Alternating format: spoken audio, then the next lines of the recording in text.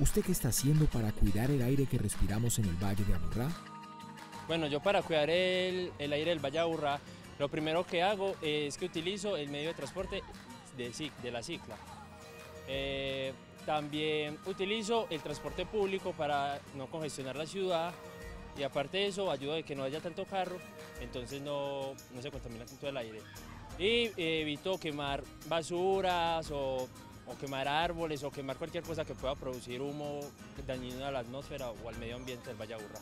Contribuir con la conservación del medio ambiente por medio de proyectos de manejo de residuos sólidos en mi institución educativa. Fe y alegría, Luis Amigo. El reciclaje es uno.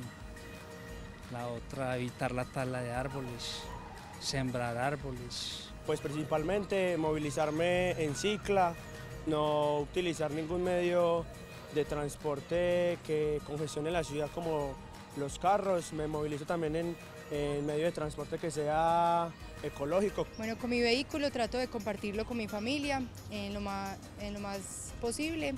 Eh, adicionalmente, mantener al día el tema de mantenimiento para tratar de no mm, adicionar emisiones eh, más contaminantes al ambiente eh, y utilizar una gasolina de mejor calidad. Pues realmente la única medida que estoy usando ahorita es utilizar el transporte público. Yo tengo un carro y, y, pues por ejemplo cuando tengo que realizar desplazamientos a lugares de punto congestionado, entonces mejor prefiero usar el transporte público para para, no, eh, para evitar contaminar con el automóvil.